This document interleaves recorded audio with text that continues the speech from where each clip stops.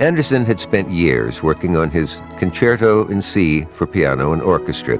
It was his only long-form composition, but after five performances to mixed reviews, he withdrew it. He wasn't satisfied with it. He wanted to rework the first movement.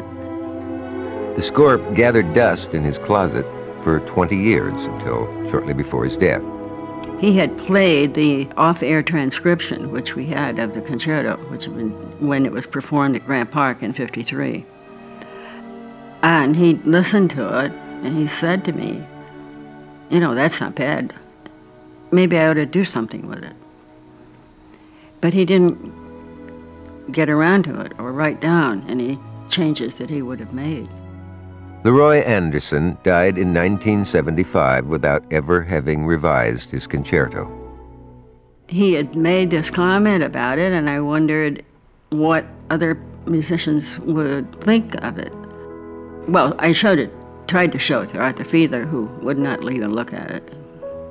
Then I showed it to, to someone else who said maybe they could get someone to fix it. I could find another composer that would fix it or rewrite it. And that Leroy was a practical person. He would understand that. But his wife disagreed, and the score remained as he had left it.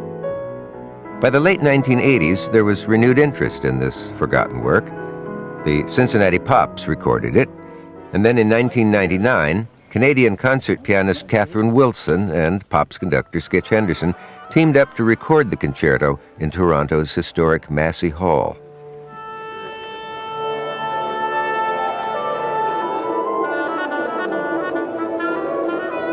28.